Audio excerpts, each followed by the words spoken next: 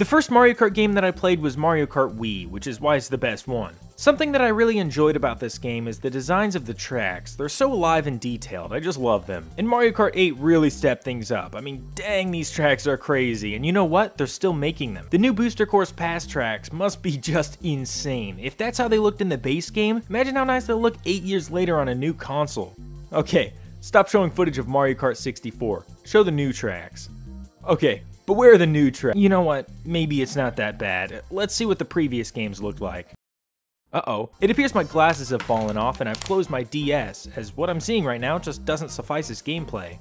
Oh, no, no, that's actually the graphics. I thought it was lively. Okay, let's go even further, all the way to the beginning. Super Mario Kart for the Super Nintendo. Yeah, this looks even worse. I don't know though, Mario Kart DS looked really good when it first released. People probably thought this looked like real life. But what about the tracks specifically? Well, it's pretty hard to judge the tracks in this game. That would be like criticizing your heart surgeon because your chest hurts. Like, they did what they could here. But they definitely left room for improvement. And in 1996, Mario Kart 64 was released, and that room for improvement was still up for rent. Okay, it looks better probably. I mean, you can see now, but now I wish I couldn't. These tracks are just ugly. Some of them aren't too bad, but this is still far from ideal. There's not much in the way of interesting paths or terrain here, and virtually nothing to look at while you race. Hopefully the next game isn't whatever this is. Mario Kart Super Circuit for the Game Boy Advance. This was probably the first handheld Mario Kart game. Actually, no, it was the first handheld Mario Kart game, and it did a pretty good job at being that. It's like playing Super Mario Kart portably. And you know what? They did a pretty good job with these tracks. Now, keep in mind, I'm not so much focused on how the track plays, I'm talking about its visual quality. Video games are for looking at, not playing. The tracks in this game somehow look better than the tracks from the previous two games while being on a handheld console. But then, in 2003, something happened. Something changed for Mario Kart. Mario Kart Double Dash released for the Nintendo GameCube, and it was really good apparently. I've never played it, and it's like a million dollars now, so I guess that ship has sailed. But I mean, wow, this game looks great. This is clearly a huge step up from everything before it. This really set the precedent for the next couple of Mario Kart games. It's how Mario Kart looks now. Well, not now now, but then now. These tracks have so much life and personality. They're so fun to race around. I bet. Like I said, I don't have the game, this is just speculation. Still though, this game is such a huge improvement. Hopefully the next game doesn't make this one look too bad. Nah, we're good. This is Mario Kart DS, and it looks bad. I mean, it doesn't look that bad when you're playing it on a little DS screen, but it looks even better when you're not playing it at all. Nah, I'm being too hard on it. It's really just unpleasant to watch on a big screen, so let's go ahead and crank up the resolution.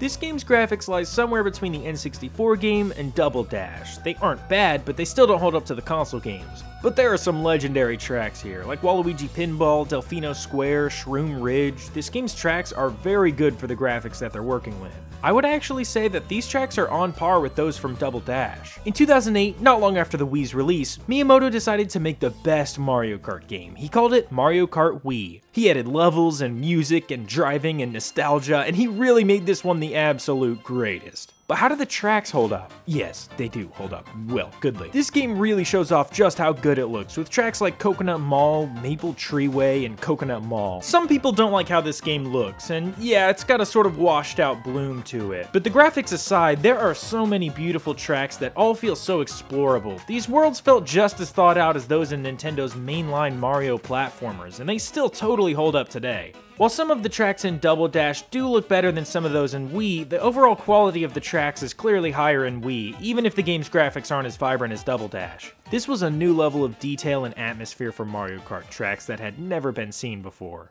Next, Mario Kart 7 happened, and then in 2014, Mario Kart 8 released for the Wii U.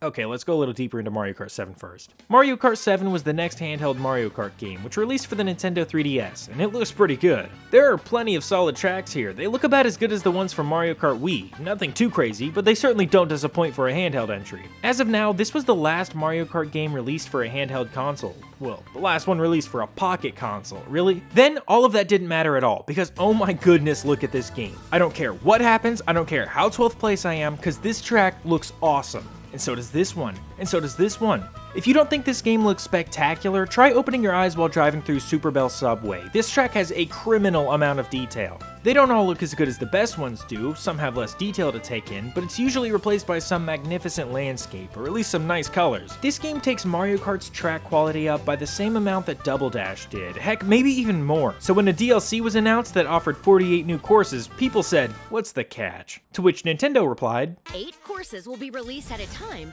over six waves. That's 48 additional courses we plan on releasing by the end of 2023.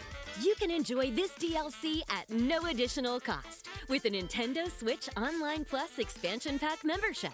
You know what? I'll take it. More Mario Kart tracks can never be a bad thing, even if they're disappointing. No! By the time this DLC was a thing, the game had already been ported to the Switch, so these tracks weren't just for Mario Kart 8, they were for Mario Kart 8 Deluxe. It's it's deluxe because it's for the Switch. Come on, these controllers were made for drifting.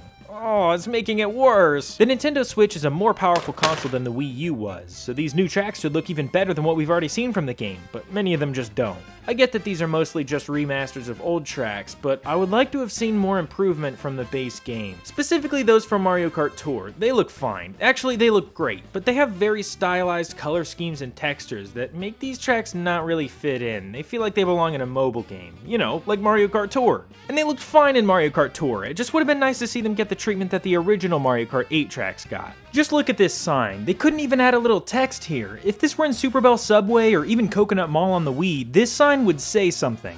And yeah, I understand it's probably like this because it doesn't take place in the Mushroom Kingdom. It's in Berlin, so they'd have to put some kind of German that refers to real places, and maybe they don't want to do that, but I don't care. The track looks worse as a result. I can't help but feel that while this Booster Course Pass is a really awesome thing, it's been a step backward in track quality from where we were in 2014. I mean, just look at Coconut Mall. This track looked pretty good on the Wii, but it's so much more colorful here on the Switch. Yet, at the same time, half of these stores are completely empty. The escalators are still the stupid Mario Kart 7 conveyor belts, and for a minute there, the cars in the parking lot didn't even move. I really like what they did with this track. It looks great, but it just feels unfinished. And don't take this the wrong way. The only reason that I'm pointing this stuff out is because it really sucks to see something so close to perfection miss the mark like that. I'm absolutely not talking down the quality of these tracks. They look amazing. I just played the new Merry Mountain track, and it really made me realize how beautiful most of the new tracks are. I'm just a little disappointed that they don't all look the way that they could, but I guess there are some pretty lame base game tracks too, so maybe I'm wrong about all of this. But hey, maybe the next Mario Kart game will somehow be an even bigger improvement than Mario Kart 8 was. I guess we'll have to wait until Miyamoto comes out with a Nintendo Switch 2. Hopefully he makes another Mario Kart Wii game for it. Those are always so good. Anyways, I'll see you later. Thanks. This track looked pretty good on Wii, but it's so much more colorful colorful, but it's so much more colorful here, here, but it's so much more colorful here on the Switch, but it's so much more colorful.